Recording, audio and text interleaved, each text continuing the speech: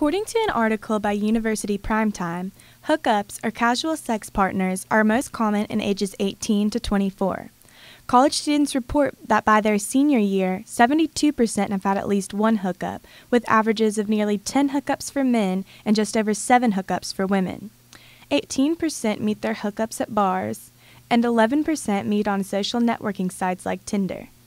Although Tinder's website makes it seem like a matchmaker, many students at LSU don't view it that way. Seeing people on an app, you can kind of like frame it to be whoever you want or show what pictures you like the most of yourself. So I don't really know how trustworthy it is. Really easy, I guess you just get it on your phone and like everyone's now into like texting instead of talking on the phone and like like talking on the internet. You don't really have to meet in person. So I guess like it's easier to just do it from your phone instead of like going up to someone and being like, "Hi, my name is." If you're gonna meet someone, you're gonna do it. If you really want to form an actual relationship with someone, you're gonna have to meet them in person. Kristen Cummins of the Student Health Center says that whether you are meeting someone online or at the bars, it's always important to be cautious when bringing someone into your home.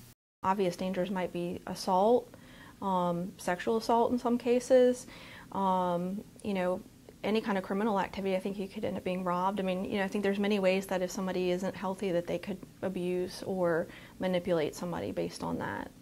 Um, so I think it's risky. For Tiger TV, I'm Courtney Allen.